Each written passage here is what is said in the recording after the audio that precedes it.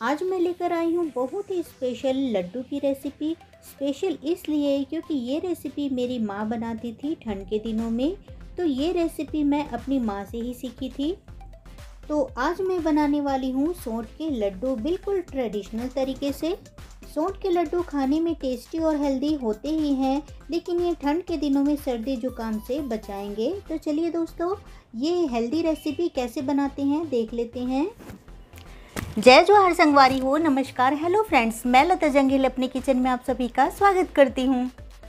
तो यहाँ पर मैं ले ली हूँ सूखा हुआ नारियल। इसे भेला भी कहा जाता है, नारियल का भेला। इसे मैं बड़े वाले ग्रेटर में ग्रेट कर रही हूँ। मार्केट में डेसिकेटेड कोकोनट मिलता है, जिसे नारियल का बुरादा कहा जाता है। उसे आप बिल्कुल भी ना डालें।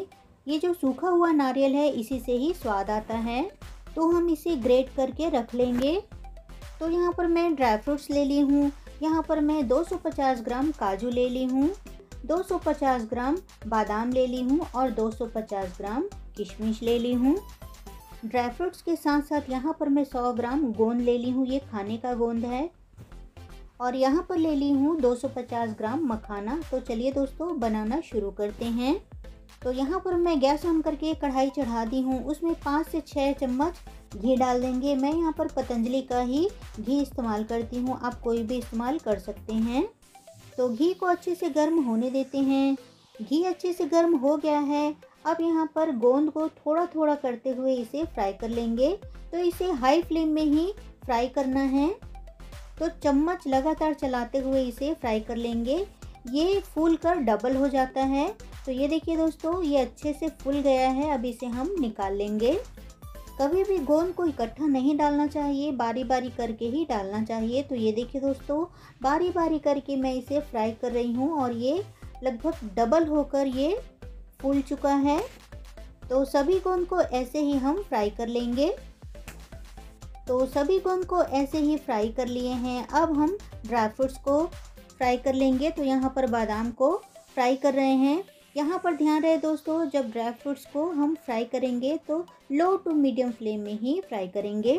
तो ये देखिए दोस्तों, ये अच्छे से फुल चुका है मतलब ये अच्छे से फ्राई हो गया है। अब यहाँ पर काजू को फ्राई कर लेंगे और लगातार चम्मच चलाते हुए इसे फ्राई करना है। तो ये देखिए दोस्तों, ये भी फ्राई हो चुका है, अब इसे भी हम अलग कर लेंगे। हमेशा ध्यान रहे दोस्तों कि इसे लो टू मीडियम फ्लेम में ही इसे फ्राई करना है। अब यहाँ पर मखाना को फ्राई कर लेंगे। मखाना को भी मैं बारी बारी से ही फ्राई कर रही हूँ। तो ये देखिए दोस्तों, दो बार करके मैं मखाना को भी अच्छे से फ्राई कर ली हूँ। इसे भी एक थाली में हम अलग कर लेंगे। अब इसी कढ़ाई में हम तीन से चार चम्मच घी डाल देंगे। तो घी गर्म हो जाए, उसके बाद हमें सौंठ डालना है। तो यहाँ पर घी गर्म हो चुका है। अब यहाँ पर लो फ्लेम में सौंठ को फ्राई करेंगे। लड्डू को अगर लंबे समय तक खाना है तो सौंठ को फ्राई करके ही लें। तो ये देखिए दोस्तों, ये अच्छे से फ्राई हो चुका है घी में। आप इस लड्डू को जच्चा के लिए भी बना सकते हैं। अगर आपको जच्चा के लिए बनाना हो तो सतावर और कमर कस ज़रूर डालें। तो ये देखिए दोस्तों, ये सभी चीज़ें अच्छे से फ्राई हो चुकी हैं। अब हम सौंठ को ग्राइंड कर लेंगे। तो इसे मिक्सर जार में अच्छे से ग्राइंड कर लेंगे। तो ये देखिए दोस्तों, बिल्कुल पाउडर फॉर्म में अच्छे से ये ग्राइंड हो गया है तो सभी को ऐसे ही ग्राइंड कर लेंगे। तो ये देखिए दोस्तों, अच्छे से ग्राइंड कर ली हूँ।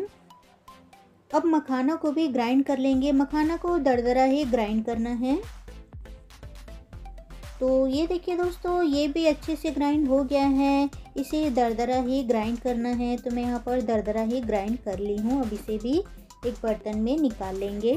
अब गोंद को भी अच्छे से ग्राइंड कर लेंगे तो मैं यहाँ पर मिक्सी जार में डाल रही हूँ। अब इसे भी ग्राइंड कर लेंगे। तो ये देखिए दोस्तों, ये भी अच्छे से ग्राइंड हो गया है। तो ये देखिए दोस्तों, ऐसे ही इसे ग्राइंड कर लेना है। अब ड्राई फ्रूट्स को भी अच्छे से ग्राइंड कर लेंगे। लेकिन ध्यान रहे दोस्तों, इसे चिकना नहीं पीसना है, इसे दरदरा ही पीसना है। तो ये देखिए दोस्तों, मैं इसे दरदरा ही पीस ली हूँ। अब इसे भी एक बर्तन में अलग कर लेंगे।